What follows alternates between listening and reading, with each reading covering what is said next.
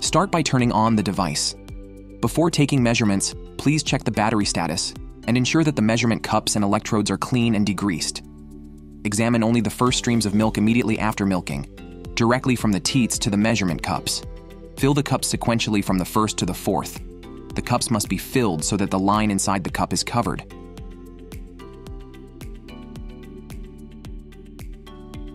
Press OK to start the measurement. Try to keep the device still.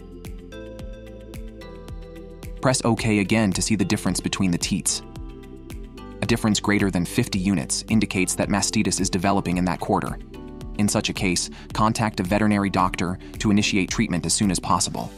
We analyze the results based on two criteria the differences between quarters and the overall milk resistance result of the tested cow. The primary criterion should be the first method, analyzing the differences between quarters. In a healthy cow, the difference should not be equal to or greater than 50. Any difference greater than 50 indicates asymptomatic mastitis. The overall resistance result depends on the age, number of lactations, genetics, and hygienic conditions in the barn, so it should be considered as the second criterion. After measurement, pour out the milk, and then rinse the device in lukewarm water. Shake off excess water to avoid diluting the milk when examining other animals. A clean device is then ready for the examination of the next cow. Click here to watch the video, How to Clean the Device After Measurements.